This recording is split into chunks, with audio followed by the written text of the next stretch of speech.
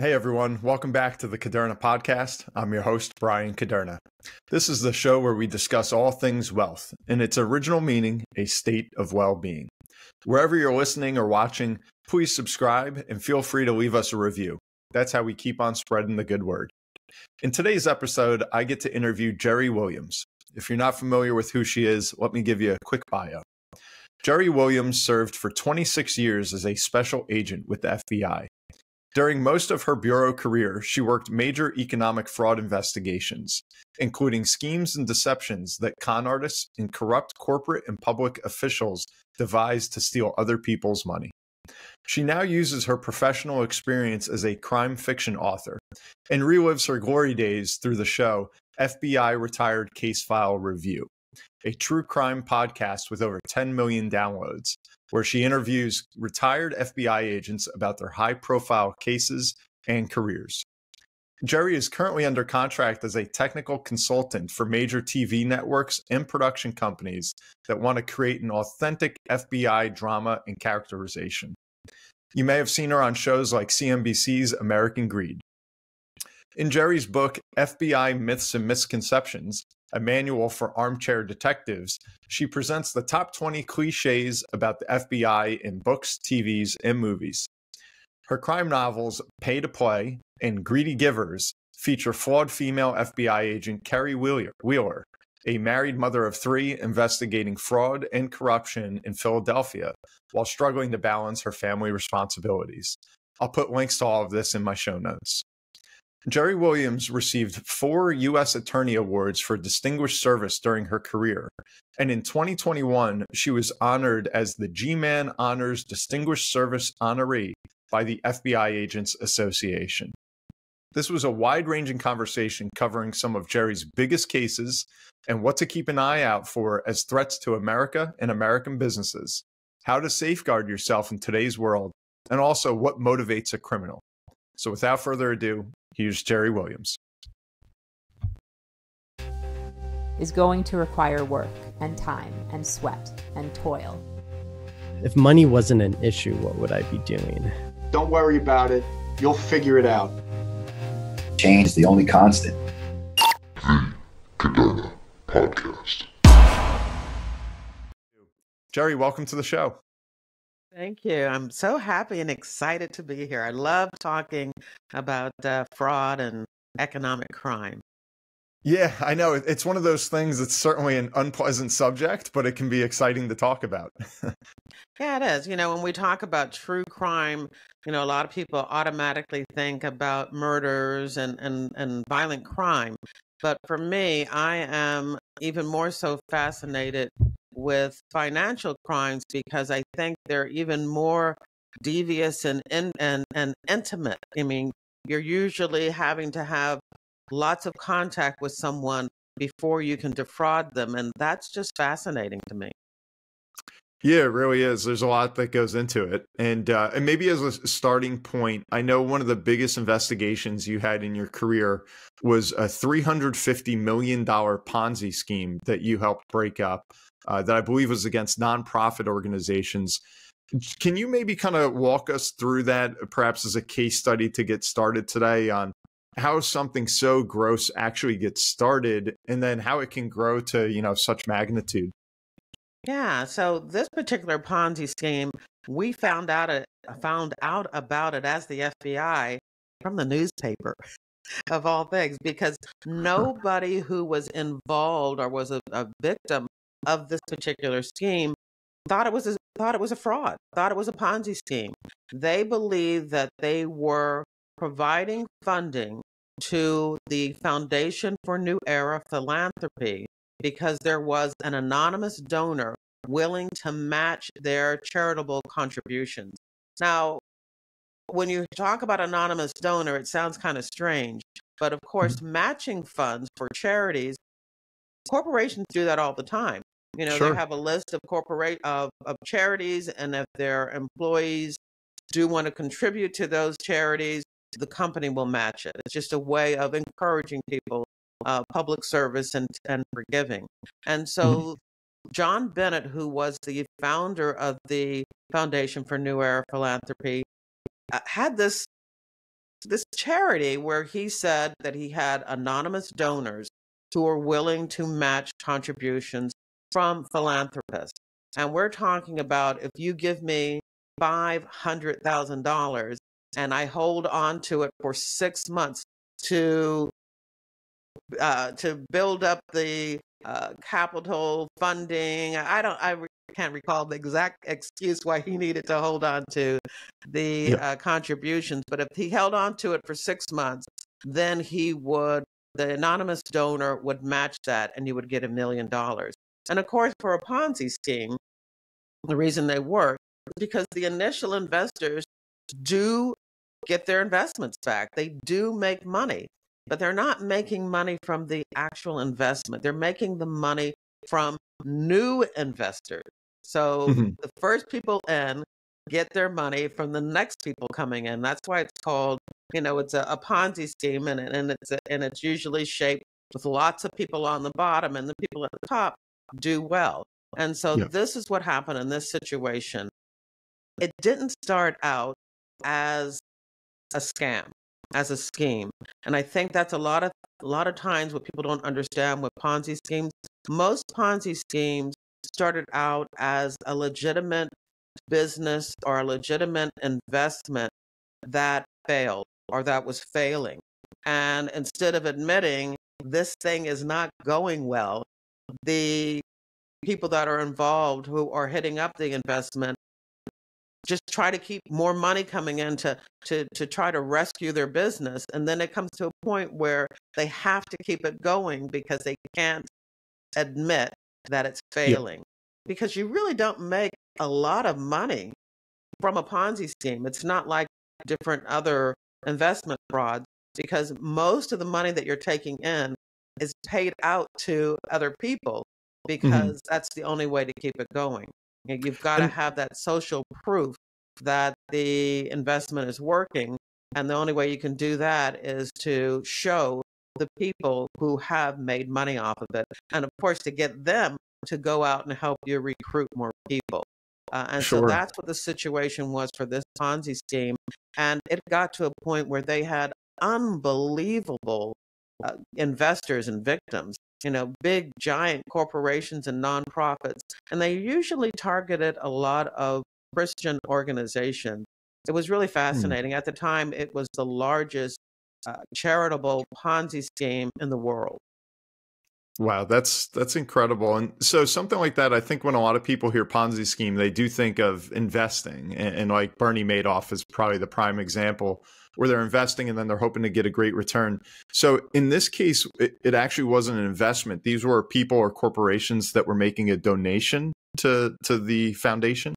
Right. I mean, in a, in a sense, they were hoping to, uh, you know, to gain a profit so that Mhm. they could double their donation. But yeah, it was it was definitely a situation where they were not looking to gain money for themselves. They were looking to gain money for a nonprofit. Say um, there was a, a, a, a let me let me think of a situation. You know, maybe a Christian school, a school Mhm. that your child was going to, and you normally would, you know, invest every year in in in that school. But in this situation, you were told, hey, if you invest, you know, and and give it to the uh, New Era Foundation of Philanthropy, we'll give you double that. Well, what a good feeling that makes. You know, you really Sure. feel, wow, if I do this, I'm able to contribute twice as much. And so the people were doing a good thing. They were looking to help, you know, that particular school in that situation. And Gotcha. maybe if the school came in at the beginning, they actually got their money. Got it. Okay. So where did the like the fraud actually occur? Was it that it just was not being matched?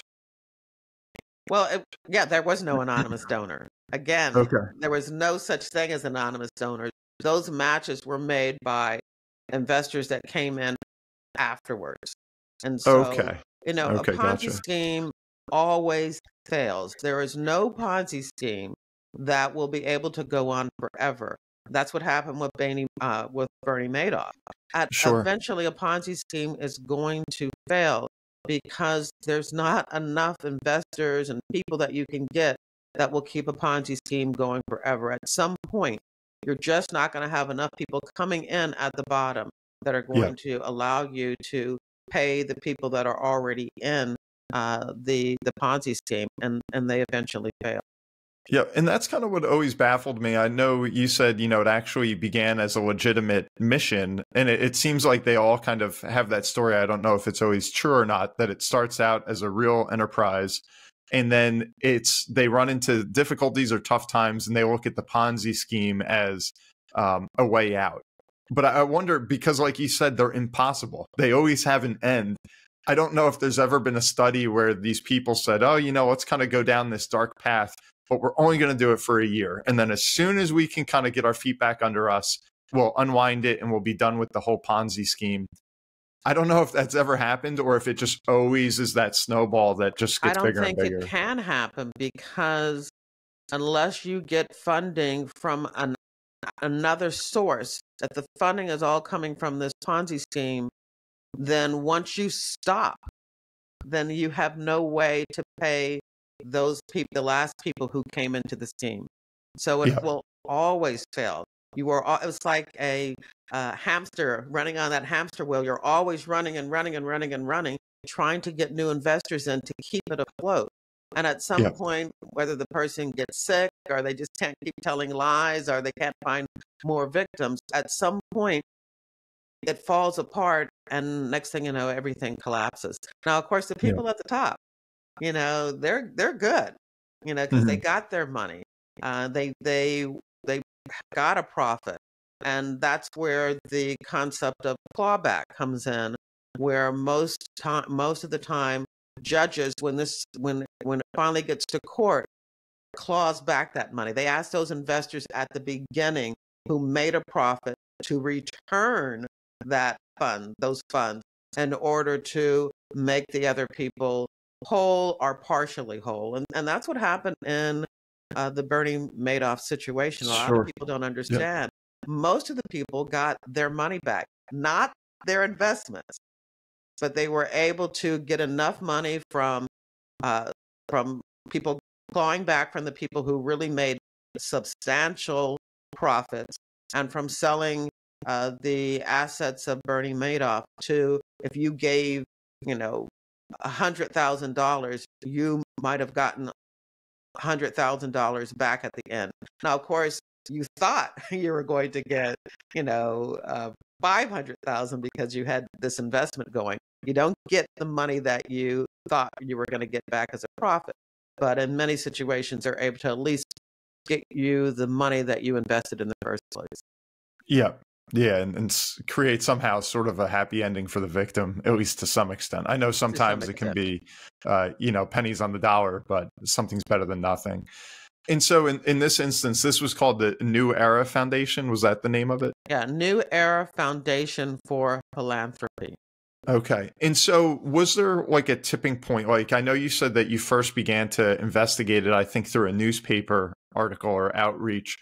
Um, what was? I guess where was that maybe that first alarm that it, working in the FBI you you spotted or somebody comes forward says something's fishy here like where does where do you start to see the first bit of smoke where then you kind of dive in? They filed for bankruptcy because okay. oh, I had, guess that's it. yeah. Uh, so it was a civil matter at the time with, and the SEC had come, the uh, Securities Exchange Commission had come after them because they started to look at this as is this a financial investment instead of a charity? And they had not filed the paper, the correct paperwork to be an investment. So the SEC was looking at them. They had also, uh, John Bennett, the, the, founder, had also um, taken out a loan with Prudential Securities to get some because again he he was trying and trying to get more victims and it was a point where he needed he needed more money and so he took out a loan and mm-hmm. when he wasn't uh, paying on that loan they did a margin call and that's when they had to file for bankruptcy and at that point when the SEC was looking at them and Prudential was looking at their financials they said wait a minute something strange is going on here we don't mm-hmm. see any money coming in from this anonymous these anonymous donors. This is this looks like it's a Ponzi scheme. And so all of that stuff was going on before the FBI came in. But again, uh, one morning I'm I'm reading the newspaper, the Philadelphia Inquirer, and the headlines, front page headlines is, you know, that this organization has filed for bankruptcy. And one of the points is, could this be a Ponzi scheme? I went right into my supervisor's office and I said, Did you see this? I'd love to look into this further. And went over to Yeah. the United States Attorney's Office to to discuss it. And uh, we opened Wow. a case. It was myself and, and two other agents, uh, Brian Cosgrove and Loretta, Loretta Hart, that worked with two prosecutors and a slew of uh, forensic accountants and, and, and other support people who worked on this case in order to figure out what was going on. And so, who did you charge in that? I mean, like when you think of these things and you hear a number like 350 million, I know in some circles that may not be so much, in others it's a, just an enormous figure. Um, were there a, a number of people that, that were in the know that you charged, or was it something that like the only the the gentleman John Bennett at the top really knew kind of what was going on under the hood? Like, what did that look like? Yeah, so first of all, I need to make sure everyone understands it was a $350 million Ponzi scheme. But again, after clawback and after asset, uh, you know, uh, forfeitures and things like that, the actual loss came down to about $150 million, which is still substantial. you Sure. know, so the, the, the final loss um, was about 150. But um, it was John Bennett who was given 12 years. He, he was sent to prison for 12 years, and also his accountant, who, uh, because of John Bennett giving him bribes and money, uh, he kind of looked the other way. Uh, he may Mhm. not have known everything that was going on, but he uh, did not do his du- his duties, his uh, fiduciary duties, and therefore he also received some prison time. And you know what? I can't recall what he got exactly, but uh, definitely John Bennett got 12 years, and there really was no one else because he really did a good job of keeping the anonymous donor part to himself. He handled that, and um, you know, with the manipulation of the finances, uh, most of the people who worked for him had no idea that it was all just one big fat lie. Wow. And one of the things I always ask about this, especially with like Bernie Madoff as, as another example, there were a number of people, a number of even his early investors that, that went on record and said something did not seem right. Yeah. You know, and when I dug deeper, when I asked the question, I never got a straight answer. And it's like all the flags went up where it said, you know, this is not legit. But they kind of turned a blind eye and said, well, I keep getting my dividend every year. It's pretty darn nice. And they said, let's just roll with this. Are they ever, and this is a, bit of a legal question, but can they ever be in a position where they could be facing um, some sort of civil or criminal penalty for kind of knowing, but saying, well, I didn't really know. So I just kept on going along with it. You know, I feel like there's such a gray area there where, um, you know, that's how these things can just go on for so long. Yeah, but that's the whole concept of fraud. You know, the whole concept of fraud is being convinced by someone, whether it be someone like John Bennett or or um, Bernie Madoff or a salesperson or a relative, a con man, to give you something of value. It's not stolen from you. You're giving them something of value based on a lie or deception.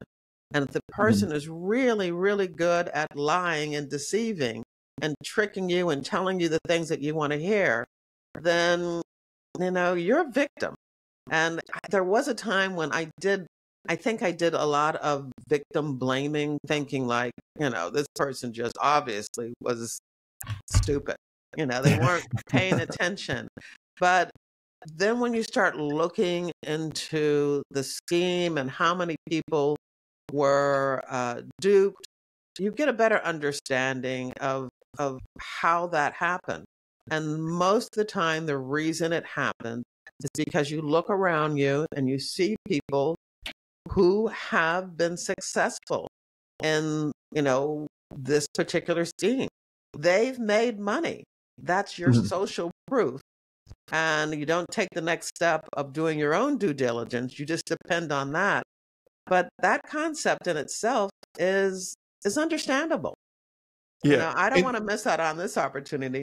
My next door neighbor or the person I go to church with or, you know, an, a coworker has been making money. It's fruit. They've gotten, you know, they've made well on this investment and I don't want to lose out on that opportunity. And so you you you get to understand after working with so many victims of these financial crimes, you get to understand what happened and you you understand that that there you- there in the back there may be some responsibility because you got duped but i don't know if that's really fair for us to to Yeah, true. look at it that way Yeah, because I mean, as I'm hearing all this and thinking about it, like I imagine as a fraudster, it's like you have almost two kind of clients. You have the victims that you completely duped, that until you kind of pull back the curtain, they're like, oh my gosh, I had no idea. And then you have the victims that are getting duped, but they're saying like, it's okay. I, you know, I'm, I'm, it's working out. So uh, yeah, it, it seems wrong or fishy, but I'll just keep going with it. And I feel like as a fraudster, those are like the ideal ones where you build almost a community of Yeah. people that are like, yeah, we're we're not supporting you, but by being here, we'll continue to support you. right and that's the whole goal of a con man or a or con artist or a fraudster is to find those people that are gullible that are vulnerable and and and take advantage of it i mean that's Yeah. what you're looking for as a as a fraudster you're looking for that type of person who you know doesn't feel like doing their own you know due diligence or research and they Yeah. just look around and said hey he's making money i want to get in on that Yeah, and it, but it's just especially terrible to see it in an instance like this where it's with a nonprofit and yes um, you know these Christian organizations and definitely people trying to do well, but uh, that run into that. And so I know in your career you spent a lot of time, you know, chasing Ponzi schemes like this, uh, but you also mentioned what are called advanced fee scams, uh, embezzlement, and then also business to business telemarketing fraud, exactly um, which I wasn't too familiar with. Can you just tell tell our listeners like what are some of those uh, scams? Like how how do those ones work? Okay. Yeah. So I only had the one Ponzi scheme. It was a huge case, but I only had the one Ponzi scheme. I spent most of Yep. my time on advanced fee schemes and uh, embezzlements and the business to business telemarketing. The business to business telemarketing is the same thing. There's people in a as as the regular telemarketing, but there's people in uh, a boiler room. You know, they're just sitting there on the phone and they're calling businesses trying to get them to purchase products. Most of the time, these products are inflated, you know, so they're providing, they're, they're overbilling them for product. And the way they do that is that they get uh, friendly with the procurement officer for that business. And they may send them bribes. I, there were many companies in Philadelphia that I uh, we did like a, a, a group two operation. We call it an undercover operation, where we had plenty of uh, companies all over the country because these are calls, so we can call people. They were calling people all over the country, getting them to buy cleaning supplies and light bulbs and things like that, but overbilling them for just ridiculous amounts of money. But they were able to get away with it because they got friendly with the procurement officers and were sending them uh, gift certificates for things like lawnmowers and wash machines and televisions and they would they knew that they had what they called a taker. That's what they used to, to call these procurement officers who were going to go when um, go with the scheme they called them takers because if you could get them to take this this gift certificate by giving you their home address i'll mail it to you let me make sure, let me mail it to your home address so that it, it doesn't get lost. Well, we know at that point if they agreed to let the person that's calling them, the fraudster, call them, uh, who's calling them, send it to their home address, that they're willing to take a bribe. They're not going to tell their employers that they approve this invoice because they got a wash machine or a lawnmower or a TV. Huh. And when they would continue with this, you know, when, when it became this really uh, close relationship, it got to a point where they couldn't take any more product. You know, I bought so much from you, I've got a storage room full of your stuff. And so in some situations, they would just send the invoice, get the invoice approved, and never ship any product. And so this was a multi million dollar scheme that, and several companies at the time when um, I investigated my largest one, we went after 14 different companies in the Philadelphia area that were making these calls and overbilling and sending out false invoices to these other companies, whether they were schools or small businesses around the country. Uh, but it was a really interesting case. I, I, had like 25 people that ended up being uh, convicted and uh, you know sent off to sent off to prison for for different uh, time periods based on uh, this particular scheme that they were involved in. Jeez, that's crazy. It's um, and if I can kind of give a little uh, you know personal story here, I remember when I was in college on a winter break, I had a friend of mine that actually worked at a telemarketing uh, agency, and he was like, "Hey, it's it's easy money. You just come in. We have like these five hour shifts. You put on your headset. You just kind of hang out and, and, just call all these people on this list, and um, you know, just help me out. You know, do it for like a month." I remember I did that, and what we were doing is we were raising funds for the Fraternal Order of Police, or the FOP. And so we would, the computer would just dial the number, we'd call it and say, Hey, we're calling to get a donation to help out, you know, victims of, of fallen police officers and their families and so forth. And then we could get $10, $20, maybe $50 in a donation. And I never knew this is just like, a, I was 19 years old, I think you're calling and you don't know how much of that donation actually goes to the end charity. Very small percent. Yeah, and nor does the person that you're calling. And they're like, okay, cool. I make my donation. I get your sticker that I could put on my car that that I support the police and stuff.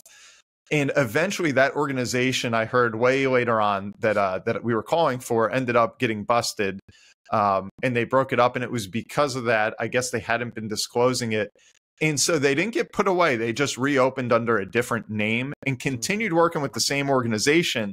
But there was a disclaimer. My buddy told me that once you read the script at the end, you had to say at least 1% of your donation will go to the FOP or the different charity, which I was like, you got to be kidding. Like, how would people know that and continue to donate? Yeah. Yeah. But I was, that was my first like exposure to like, wow, these are just pure scams that are out there and what really scared me is I was like, the charity, if they're they're paying a fee, but if they're making a profit on that, um, and saying, hey, at least we're getting some donations. It was better than nothing before from the that crowd of customers.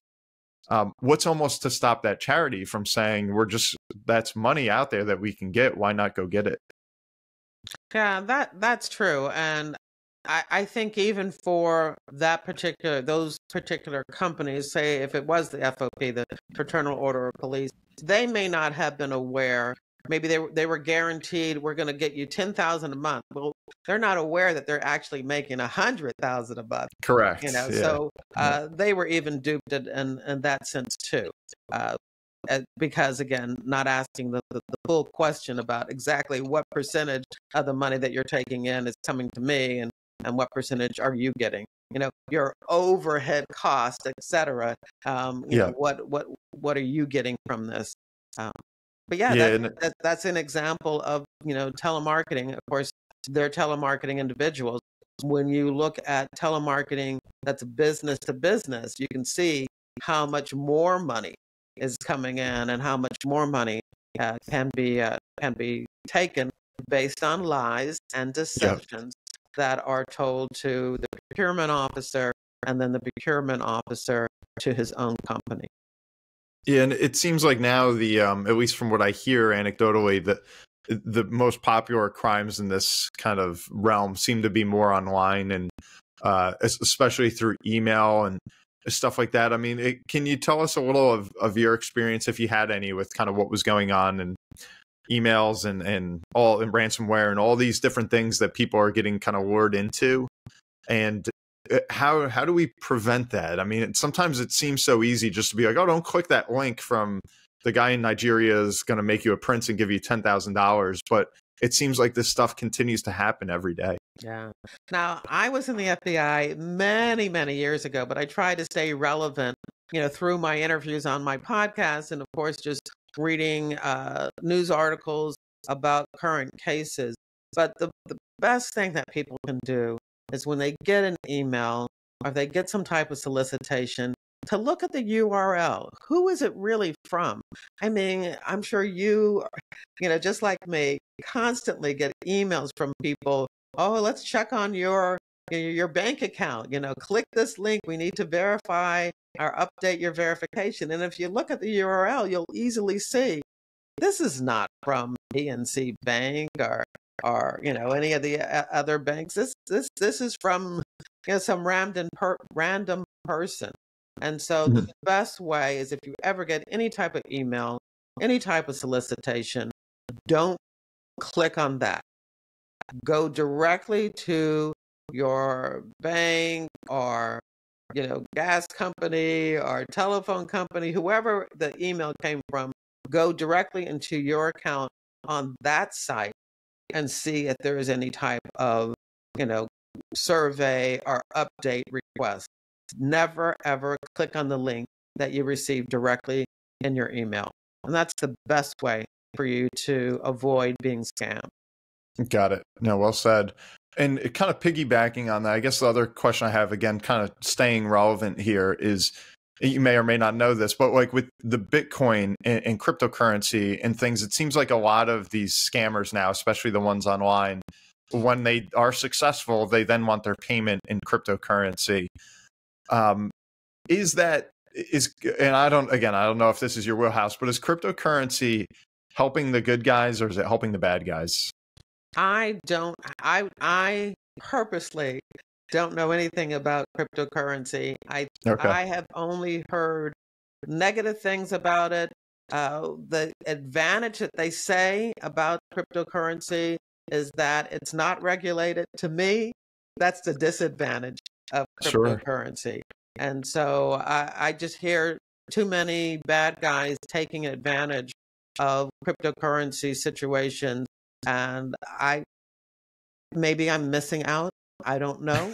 maybe maybe it will come through, but I mean over and over and over again you hear about people who have been taken advantage sure. and defrauded and I am just I'm you know I'm I'm not I'm not interested. And, yeah, uh, I certainly I, I would recommend anybody uh, to to to to do it. Are are you into cryptocurrency? I am not. No, I mean, as a financial advisor, I'm I'm constantly asked about it. Um, I do full disclosure, I do own some Bitcoin, um, but I, I, wouldn't say that I'm a proponent. I mean, it's a tiny sliver of my portfolio. Uh, and in clients, I always tell them, I'm like, hey, you know, yeah, maybe there is that huge upside potential. Everyone wants to compare it to the internet. That at the beginning, people were like, oh, the internet, that sounds ludicrous. And now here it is. And they say, hey, could Bitcoin be like that or crypto? Um, and I, I don't want to, I'm not, I'm not that big of a proponent or that knowledgeable on it to pass judgment, I would say. But what I do tell them is it's extremely speculative Mm-hmm. Um, so just recognize that, you know, if you want to take that risk, go ahead. But I mean, it bounces all over the map from an investment standpoint. And then there's all these unknowns of the regulation as well. Uh, so I was just kind of curious on that. I think it's something we're kind of learning on the go.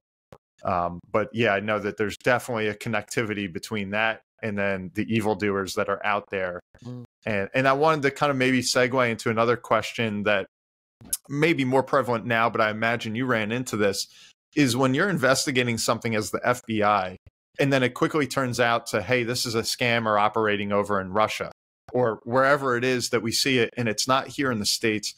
What happens then? Do you do you hand the investigation off to someone else, or do you continue to pursue that even as it goes abroad? Yeah, if there are victims in the United States, and we continue uh, even working on it, even though it's international. We have really good relationships with our international security and law enforcement partners. And we, uh, you know, there are agents that are assigned at, and working in uh, outside of FBI, are inside of U.S. embassies as legal attaches or legats and ALATs, assistant legal attaches, all over the world.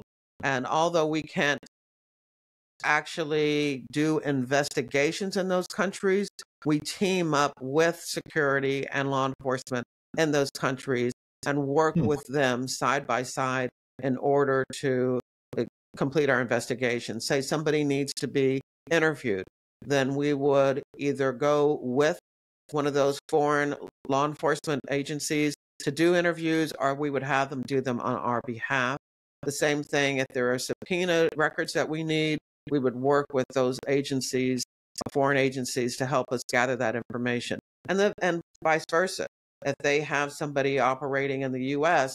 that is victimizing people in their company uh, in their country, then we work with them very well too. Uh, I don't know the status of the FBI's office in Moscow.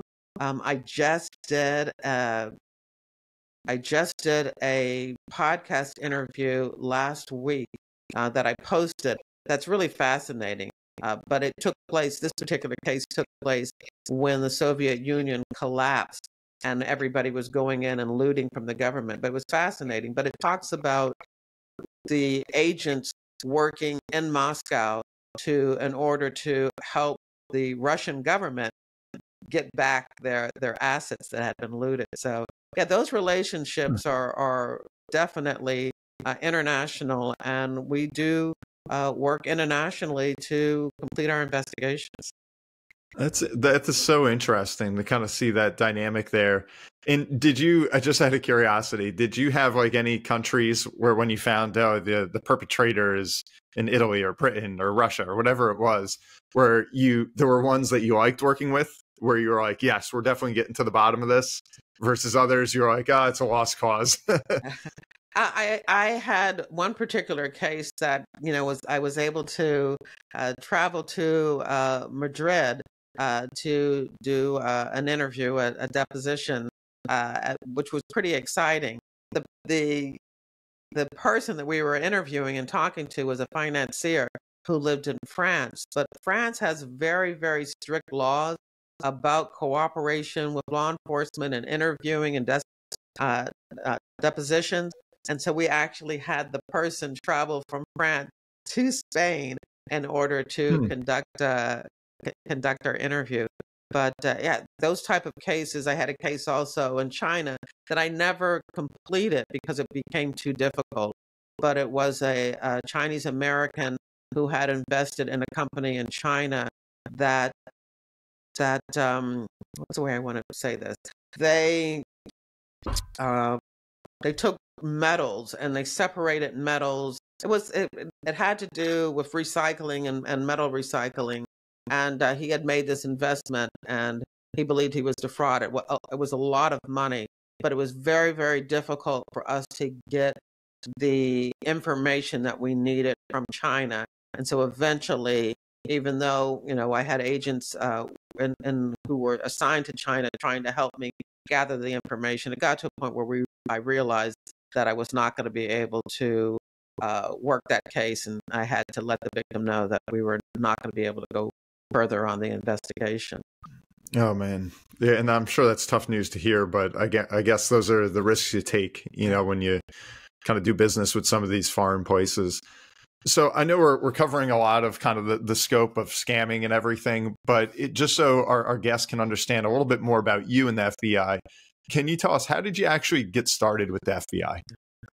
I, was a juvenile probation officer in lovely Newport News, Virginia. I had been a, a psychology major in college, and um, so I was actually using my psychology skills as a probation officer. My title was really aftercare counselor. I got all the kids that went away to reform schools and group homes and placement centers, and I worked with them trying to uh, integrate them back into the community after they had served their time. So they had already been adjudicated and had been sent away, and now they're coming back to the community.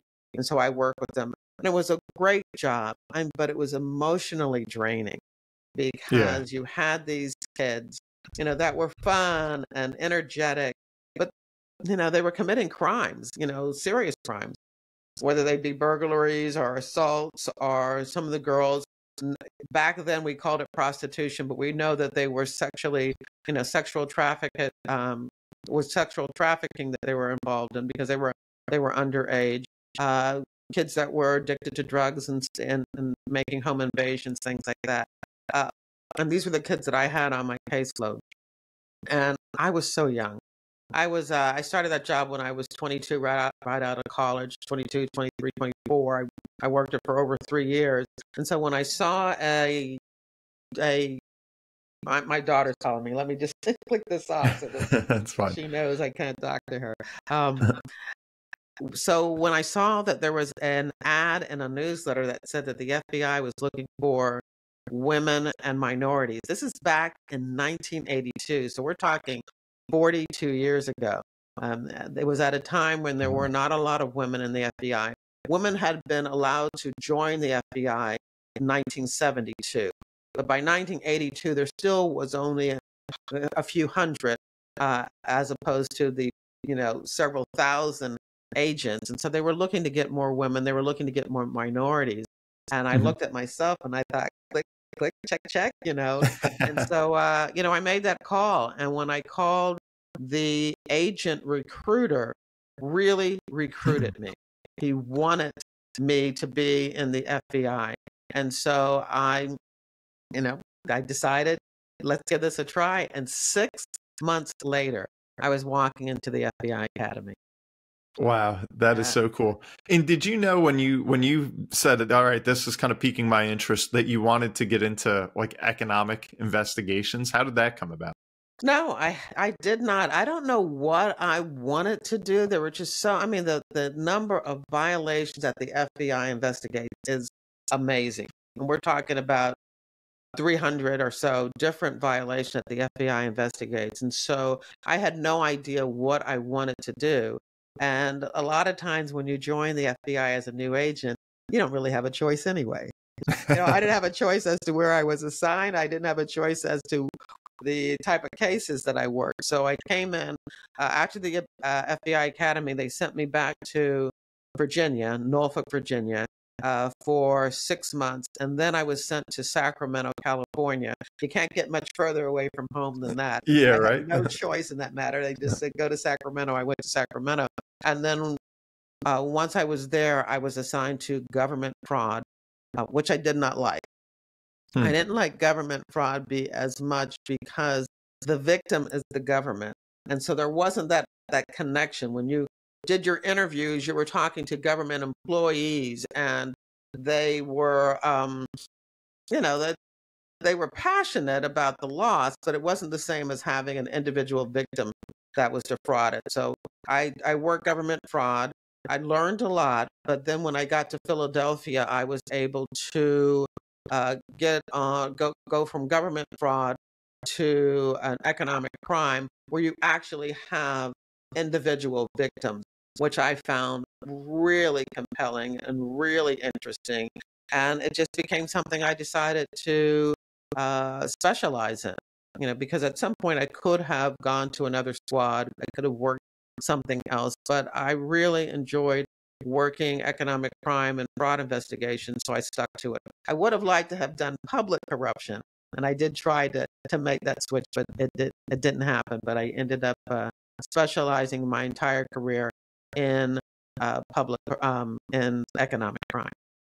Got it. That's that's such an interesting journey. And when we were discussing just a moment ago, like these different cases and scams that you pursue, it seems like it would really be conducive to like a major in accounting or mathematics or forensic accounting. Uh, is is that the case where like they want those, or is the FBI open to psychology majors and other people that then they can mold into what they want? Because it seems like at the end of the day, like really the the smoke that you're finding where the fire's coming from always seems to be numbers and, and you know numbers that don't match up. Yeah, and definitely there are many, many agents who come into the FBI with accounting backgrounds.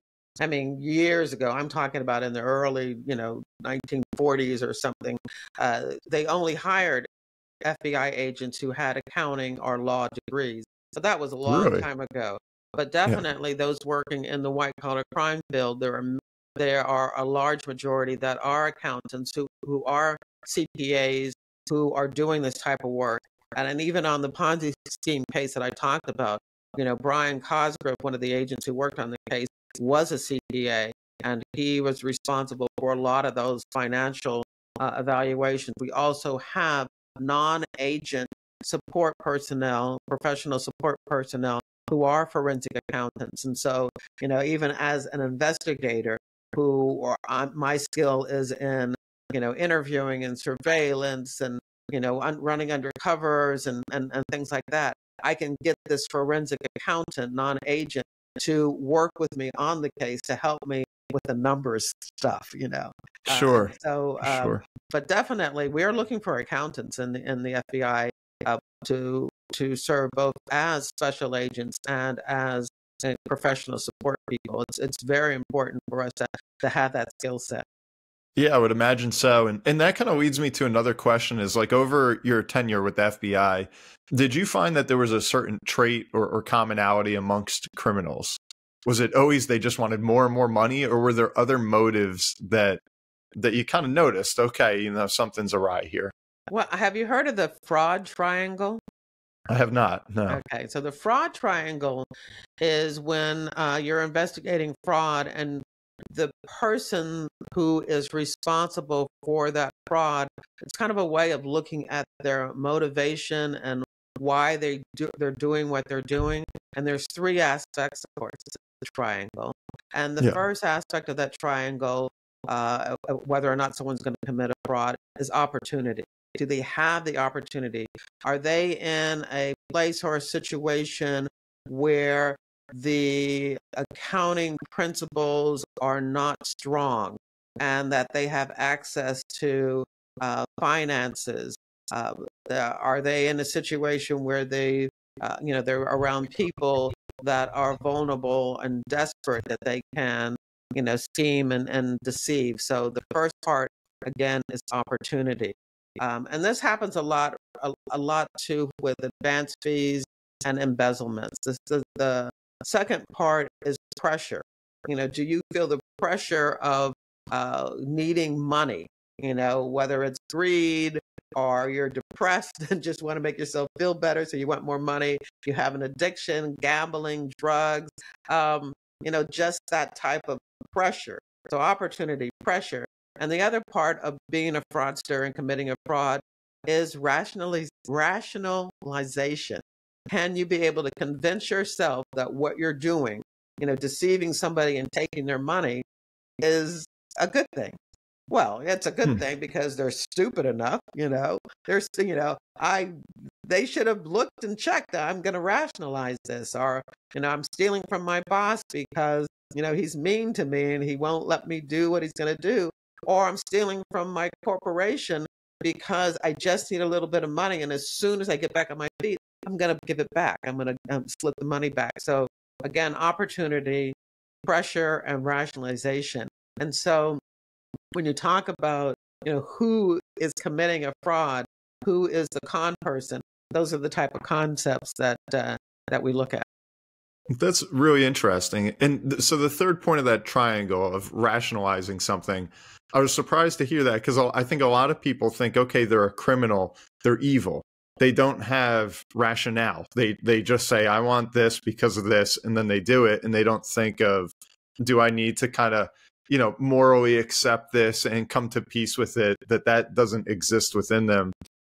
Do you find that that that lots of times these criminals are people that have just natural good intent but then they they lie to themselves to accept their wrongdoing yeah and if you think about it because fraud is fraud is kind of different and that's why i find it so fascinating because when you talk about a criminal you, you you're you kind of think of this evil person but let's just say you have a situation where your grandmother you know you have a grandmother that has lots of money and the grandchild really wants to start a business or they want to buy something or go someplace and they talk the grandmother into letting them help them with their finances and in the meantime they're draining their grandmother's bank account you know are they evil? That sounds evil to me, but it also just it it just sounds like somebody who is desperate who rationalizes that when my grandmother dies, I'm going to inherit all of this anyway, so why not take advantage of it now? So that's what I'm mm-hmm. talking about the, the types of things that are are also rationalizing. Is that hmm. person a criminal? Absolutely. You know, they deceived their grandparent and took something of value based on a lie or deception. Grandma, I'm helping you out, when instead they were just taking advantage of it. Um, but are they evil? You know, it depends. You know, is is grandma now eating dog, dog and cat food because you know you've you drained her bank account and she can't afford you know to to you know proper uh, nutrition and health care? Yeah, now you're evil. So yeah. there there are different levels and you know grading of uh, of of that title or that That's, definition.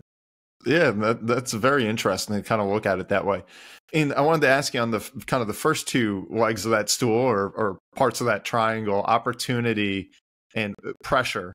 Um, I remember I had, I think, one criminology class. I was a finance and economics major, but I had one criminology class in college. And I remember there was a study on the chances that I would get caught doing a crime versus the severity of the punishment. And so they kind of looked at like if I, you know, committed this crime and there was a 90% chance that I would get caught, but the punishment was I was going to do 2 weeks in prison.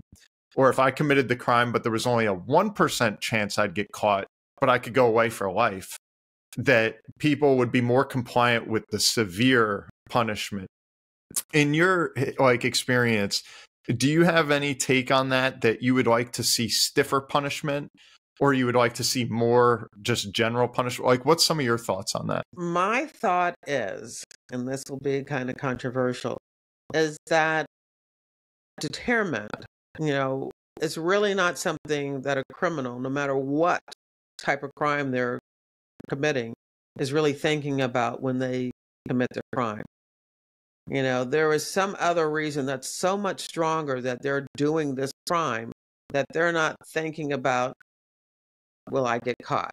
You know, what's going to so happen? They don't look at the risk caught? reward of that.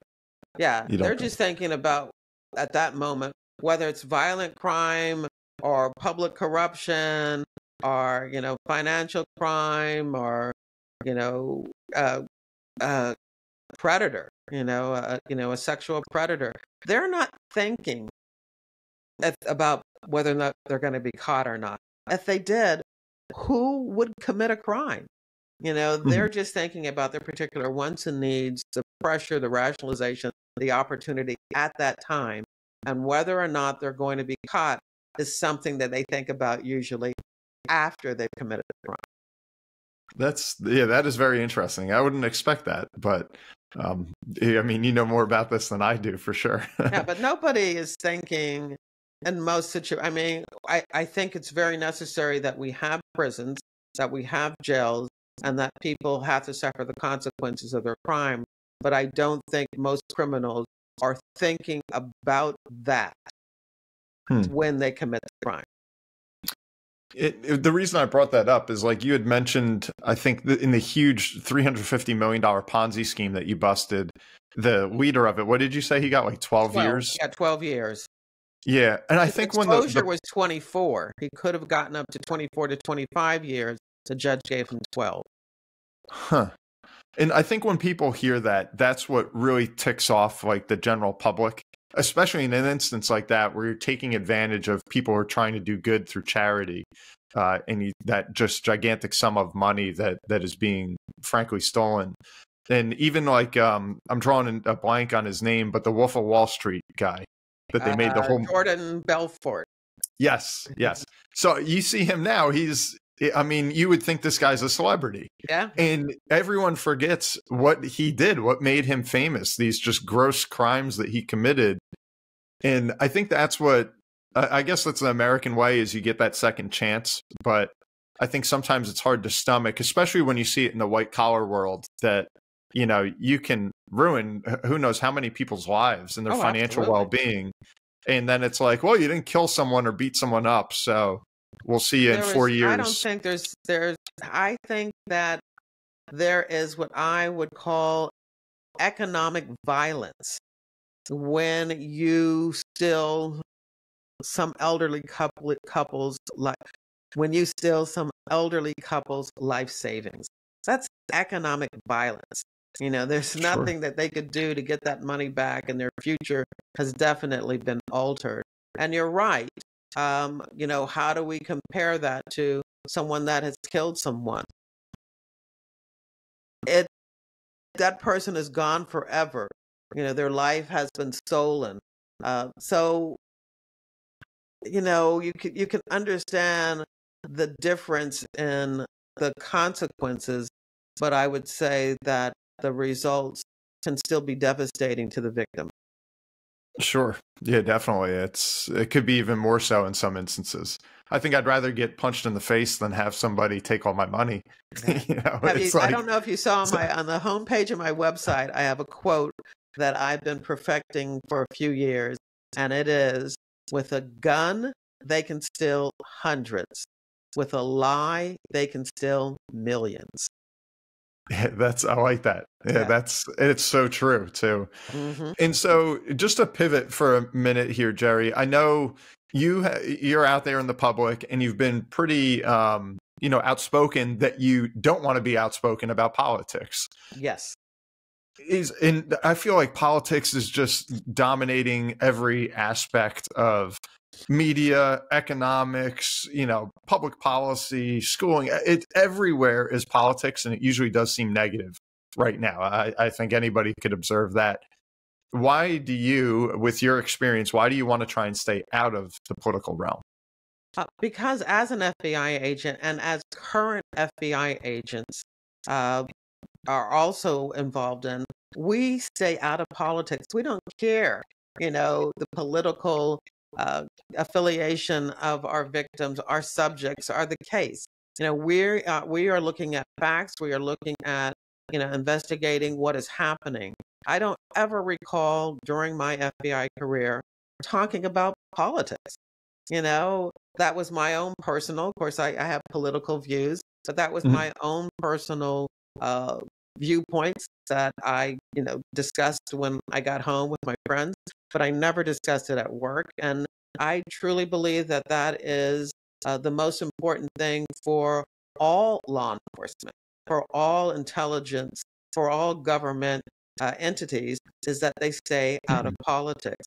And I know there are going to be people who are going to probably comment on this saying, "Oh, the the FBI is political," but the FBI is not political.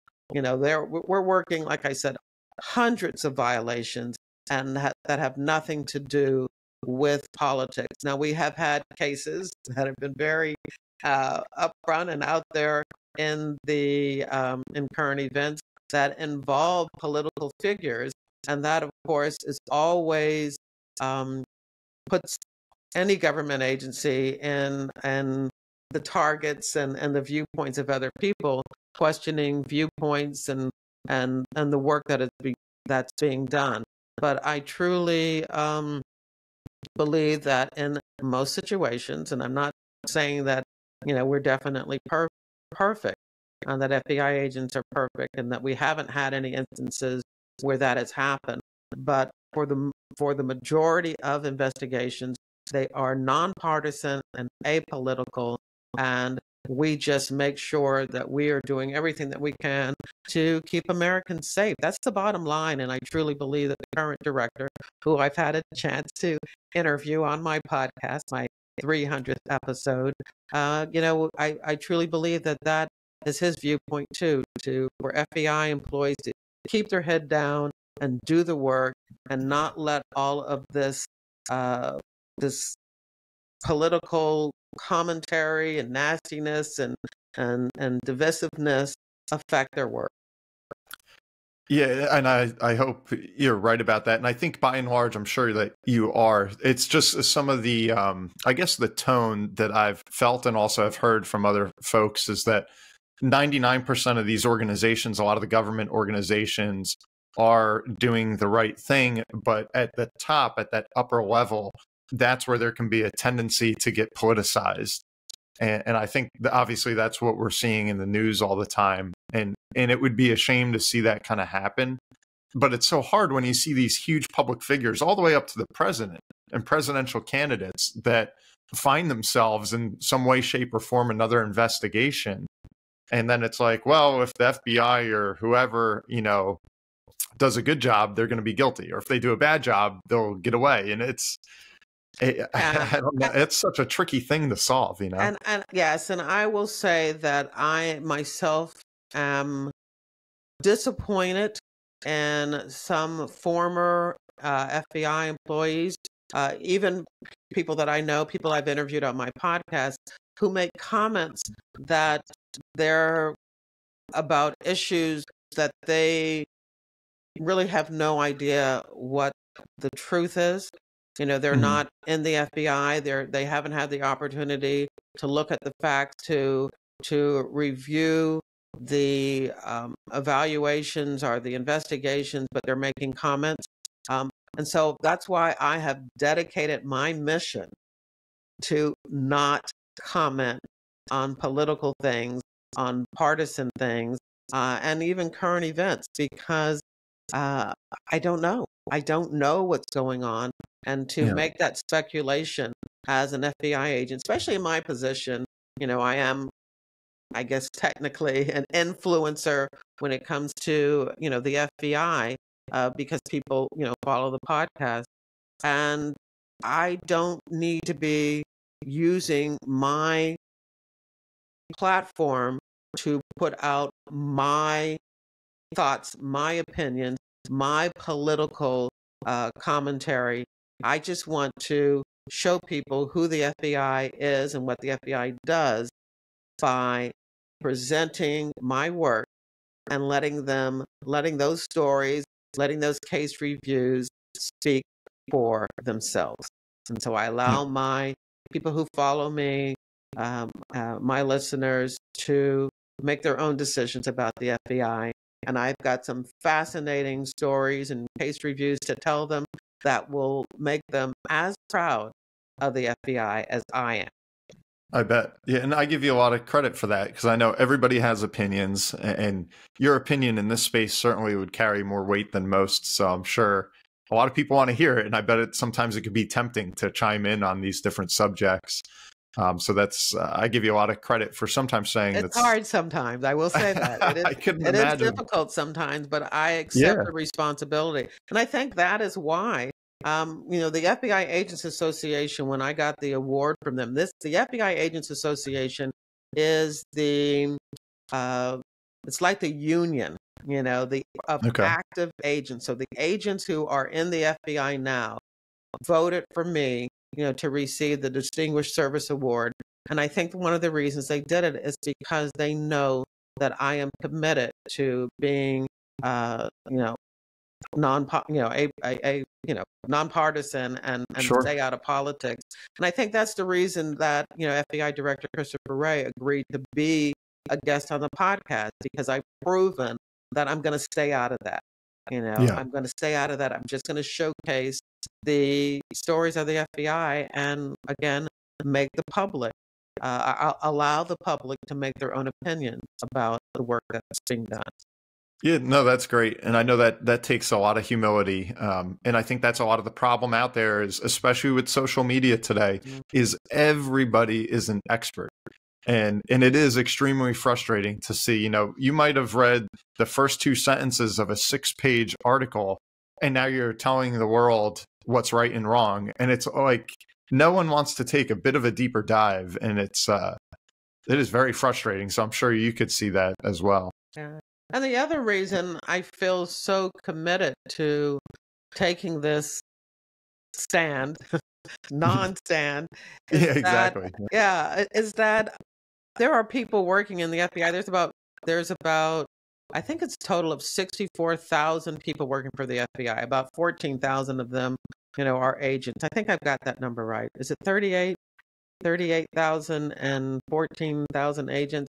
I'm sorry, I, I don't I don't have the total number, but they're working now.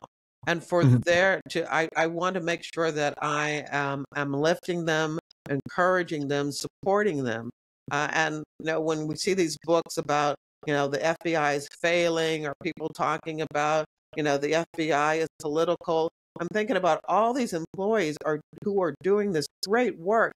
Uh, hopefully, they're doing what I did when I was in my career. Again, just keeping my head down and not paying any attention to that. But I just want to make sure that there is a place where the public and FBI employees, I have a lot of people who listen who uh, actually are, are current employees, that they have a place where they can go, where they can see that they're supported and their work is appreciated. No, that's fantastic. That's great to hear. And so, if we kind of, as we wrap up some of this conversation, I know we're covering a lot of different ground here. So, if we even go a little bit higher, kind of the 10,000 foot view, if you look at what's going on here and abroad, what would you say are some of the biggest threats, in your opinion? Just not that we'll hold it to you. In your opinion, what are some of the biggest threats facing Americans today and, and business owners today? Oh, definitely. You know, economically is the uh, the um, the intelligence, the stealing of uh, of American intelligence and, and technology. I mean, that's the biggest thing. And of course, you know, we're, it's China and Russia, and of course also their involvement in our political system. So those are the biggest things. I didn't work that type of investigation uh, when I was in the FBI, but I do know it's definitely you know, and, and counterintelligence and intelligence are definitely one of the biggest things when uh, in the FBI today because we're trying to safeguard, you know, our our infrastructure and mm-hmm. not allow uh, these different foreign countries to, to to steal all the hard work, research, and investments that our American companies have been have been making in this effort. And so, along those lines, I mean, I, I, love the triangle you brought up. When you're dealing with those things are on a grander scale, we're talking about China or Russia and protecting all of our knowledge and technology here in the States. Do you look at that triangle again and say, okay, what are the opportunities China or Russia sees by stealing this? What are, you know, the pressures that they're under maybe to keep up, you know, competitively from an economic standpoint? and then are they sitting there as Xi Jinping and Putin sitting there rationalizing? Right. Yeah. You know yeah. that I'm hey, sure I'm in the right. I'm not doing anything is, wrong. Yeah, I'm sure the rational their rationalization is is that they're doing this for the good of their own country, and so it's mm-hmm. okay to steal from us if it's going to help. You know, Russia or, or China. So, yeah, you know, I never thought of that way. Uh, thought of it that it's way. the same motives. Yeah, it's, yeah. it's the same motives. You know, I guess whenever you do something that is questionable, criminal, uh, with criminal potential. You know, you use those those those those same uh, broad concepts, those those same uh, and triangles. Yeah, and I, I guess it kind of applies both to the macro and the micro. Like if you look at those three things that we want to try and um, I guess I don't know the right word, like focus on, but also be able to defend ourselves. Is, do we want to take a stance as, as Americans of let's prevent those opportunities from existing either by having better cybersecurity or better safety measures? Or do we want to, as far as the pressure they're having, rid those pressures by having us all do well together? Or just completely defeat that rationalization by having kind of a PR campaign and getting across to them that you can't do this? Like, where where do we want to put more of the emphasis? Um, well, the um FBI actually has a a, a uh, partnership, a public-private partnership called InfraGard. Have you heard about InfraGard? I have not. No. So InfraGard again is a partnership, public-private partnership, where we work, meet, train, research, collaborate with corporations uh, and entities, uh, uh, universities, to talk about the intellectual threat uh, of people trying to steal um, our technology. And we work together with them on a very close basis, giving them ideas and tips and thoughts about how to protect our intellectual property. Uh, it's um, it's a big organization. They have chapters, you know, all over the country. Again, it's InfraGard, and uh, hmm. these are relationships that we have with private and public uh, organizations in order to, to safeguard. And it's uh, very, very effective. That's good to hear. I think that's that's critical that we have that because I, I often ask people like, is globalization a good thing or a bad thing right now? And it's, I mean, you, I'd be happy to hear your opinion on it too, because it, it seems like it's here. There's no stopping it. Um, we're we're getting the world's becoming a smaller and smaller place by the day. Uh, so that's there's obviously so much good there, but it's almost like there's no more keeping someone at bay when they're already here. You know, right? Glo- I think glo- globalization is a good thing, but stealing is never a good thing. And Sure. so, if I'm going to put my money and energy into developing a technology, then I don't want you to come and steal it from me and take advantage of my particular hard work. And that's what we're talking about.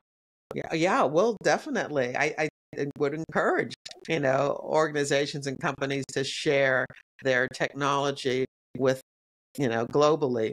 But someone's going to have to pay. Someone should pay for that. They should. Yeah. They should. Yeah. And and so that's really the difference. It's not about not wanting to share. It's not wanting someone to steal our, um, you know, our technology.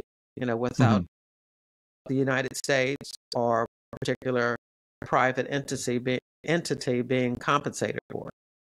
got it, got it. And so, kind of the the grand question of question of them all: uh, if you could change one thing about the world today, what would it be? Yeah, you know, again, since I I hate discussing this, I would I would have to say, you know, the politics. You know, I wish we had an opportunity to maybe even have a, a third um uh political you know what I'm saying. What's the word Party. Yeah, Like party or candidate? Yeah, thank you. Yeah. I, I would love for us to be able to have, you know, a third party so that we have an opportunity not to be so black and white about Mhm. our particular viewpoints and, and goals because what politics has done you know to this country is just so sad on both sides you know both Mhm. sides um i i just don't know what what's going to happen you know to the world uh as we know it if we don't get back onto some type of more um kindness and away from the ugliness and the you know the dividing of of um of goals you know for this country i i I- think that would be that would be the biggest thing that I would like to see is um, Sure. us coming together more as a country. Yeah, and I, I think if there was ever a time for that third party, you got to think that we're kind of getting closer to it. Where, I mean, we are just going to so far opposite ends of the spectrum here that I, I don't think the average Joe likes that, and, and I hope and I like to believe that that we'd rather be more uh, kind of getting along than getting apart. Oh, absolutely. And Yeah. again, you know, on on on my show, I've talked to agents, and I know that they may have different political, you know, opinions than mine, but you know, working with them, I've become friendly with so many people that I know don't share my viewpoints, and I think that's what is wrong or or troubling today is that there are many situations where that doesn't happen you know that we're Hmm. not allowing people to have their different opinions and you know we're we're, we're rejecting people because of it um, and that's that's not going to be good that's not going to be good for our country mm, I agree. And so the the last question for you to get to know Jerri Williams that just and this is one I wanted to know. You know, myself, I'm a financial advisor, an author and podcaster, and I feel like each one has kind of brought about its own excitement and also a feeling of of kind of doing good and reaching different people. You yourself, you're an FBI special agent and now author and podcaster. Of those three, that going back to triangles, that seems to be the theme today. Do you have i guess two things. Which one was your favorite of those three roles, and where do you feel like you've done the most good? now as a retired agent you know who worked there for 26 years i definitely feel that that was the most spectacular thing that i've done in my life And remember that the last five years, four to five years of my FBI career, I became the spokesperson for Philadelphia. I was the person that dealt with the media and dealt with uh, other with the public on what the FBI was doing in Philadelphia. So I kind of took on that responsibility of wanting to uh, shape the perception, the positive perception of the FBI. And what Hmm. happened is that after I retired, that kind of became my um, my hobby, and I continue doing that as a podcaster. I only interview uh, retired FBI employees on my podcast, which is called FBI Retired Case File Review. And I love podcasting. Um, I've been doing it for eight years. It was eight years in January. Wow, So- good for you. That would be second. And then third uh, would definitely be writing. I, I love writing. I write a blog post. I only write one a month, but what I usually do is review a TV show or movie that features the FBI. And I look for teachable moments about FBI policy or procedures in those entertaining movies and TV shows because what most people know about the FBI, they get from books, TV, and movies. Sure. And so, um, yeah, so in that order, the best thing was being uh, an FBI agent.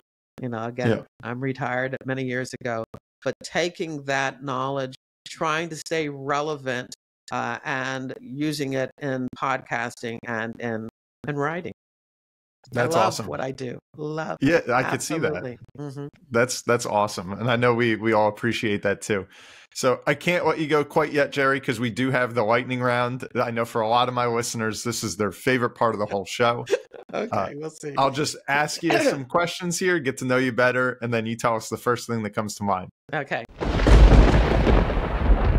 So first up, what did you want to be when you were growing up? A doctor. A doctor. Okay. And who was your hero as a child? Oh, my father. Okay. And uh, do you have a favorite book? Uh, right now, my favorite book is John Grisham's The Testament. And it's not one of his most fa- fa- uh, famous, but I absolutely love that book. So, John Grisham's The Testament. Okay. And do you have a favorite movie? Hmm. this is a shame, but it probably would be The Firm. Again, you know, I love fraud and, and, and corruption. And so, uh, John Grisham's book that was turned into a movie well, with, uh, uh, what was his name? Um, the actor. Uh, was it Tom Cruise? Yeah, Tom Cruise. Uh, Okay. That, that's probably one of my favorites too. I'll probably think later about, ah. Yeah, I right see now- a common thread here. Yeah, yeah, you do, don't you? yep. And do you have a quote to live by? Um, when people show you who they are, believe them. And that's a Maya Angelou uh, quote. Love it. And what's the first thing you do when you wake up in the morning? Sit down on my computer and get to work. Oh, you so you get right at it. Yeah, there may be times that I realize it's 11 o'clock and I haven't changed out of my nightgown, but yeah, I get right to work. Okay. And I know you've you've been all over the place with your career. Do you have a favorite destination or vacation? Oh, I travel a lot. You know, this last year alone, we went to Australia and New Zealand and Brazil and Argentina. Wow. Um, Favorite. I really liked Aruba. And Paris. No, no, no. I back up. My favorite destination was Prague. It really Prague. was. I don't. Yes, Prague. I love Prague. I was. I was love it. Fabulous, fabulous city. Yep, I studied abroad there. Got to live there for four months. so- Okay, so you know, Yeah. it's just wonderful. Yeah, Yep, and I can so attest much- to They retain so much of their uh, infrastructure and historical. A lot of uh, European countries were bombed during the different wars, Mhm. and for some reason, they were able to keep a lot of of their infrastructure. And so it was just fantastic to to be there. People were great. I love Prague. Yeah, I could agree 100%. It's a beautiful city. But uh, Jerri, thank you so much for making the time today. This was great conversation, a lot of insights here on the FBI and, and your career. Uh, so thanks again, Jerri. It was a pleasure to be here. Thank you for having me. And everyone, thank you again for tuning in to the Kuderna podcast. I'm your host, Brian Kuderna. Today we had the pleasure of speaking with Jerri Williams. Again, I'll put her info in the show notes. Be sure to check it out. And wherever you're listening or watching, please subscribe and leave us a review. We'll see you next time.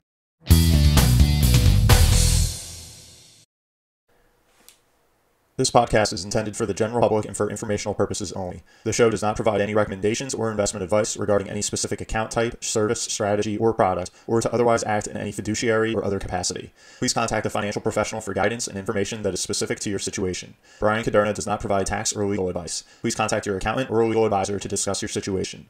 Guest speakers and their firms are not affiliated with or endorsed by Park Avenue Securities, Guardian, or Kuderna Financial Team, and opinions stated are their own. All investments contain risk and may lose value. Past performance is not a guarantee of future results. References to specific securities, asset classes, and financial markets are for illustrative purposes only and do not constitute a solicitation, offer, or recommendation to purchase or sell a security. Brian Kuderna is a registered representative and financial advisor of Park Avenue Securities, LLC, PAS. OSJ 300 Broadacres Drive, Suite 175, Bloomfield, New Jersey 07003. Phone number 973 244 4420. Securities products and advisory services offered through PAS, member FINRA SIPC. Financial representative of the Guardian Life Insurance Company of America, Guardian, New York, New York. PAS is a wholly owned subsidiary of Guardian. Kuderna Financial Team is not an affiliate or subsidiary of PAS or Guardian. California Insurance License Number 0K04194.